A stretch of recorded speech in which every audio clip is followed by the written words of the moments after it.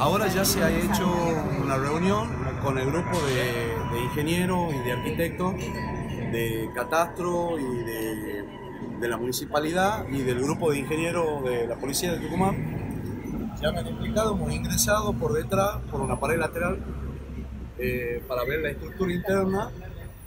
Ya se han detectado algunos puntos que han sido los que estaban débiles. ¿Puede establecer por, ya una figura penal? Por otro lado, por otro lado, por otro lado, eh, a posteriori se va a hacer la liberación del, del acceso del otro estacionamiento que está hacia el este, digamos, que esa es la máquina que está trabajando ahí, para que se pueda sacar los otros vehículos.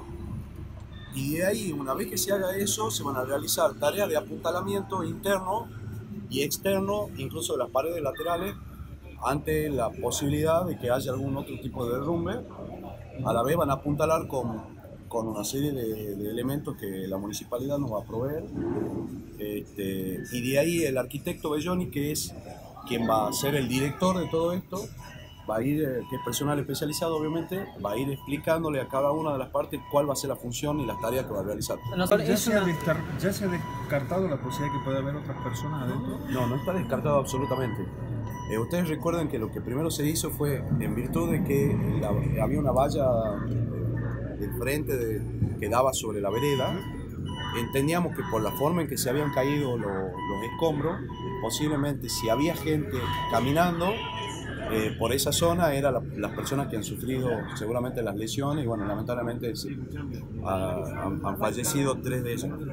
Sabíamos que dentro del, que en el interior no había nadie, eso lo sabíamos ayer, pero ayer, ahora entramos con la luz del día y se constató que efectivamente no hay nadie en el interior.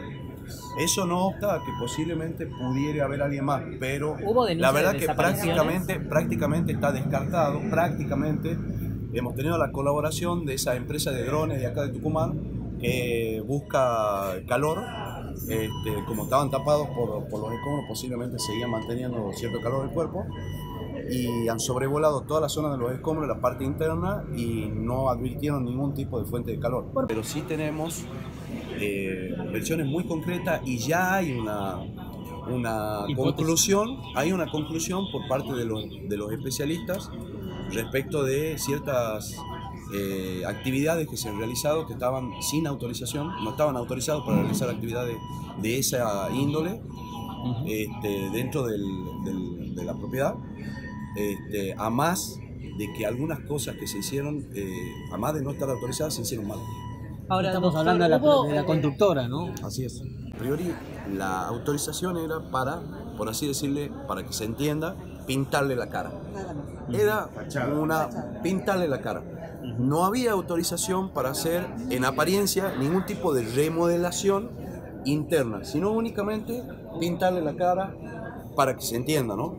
El problema acá es que aparentemente había toda una zona de mampostería, de barro, de barro, de ladrillo de barro, que estaban asentados y que los han retirado.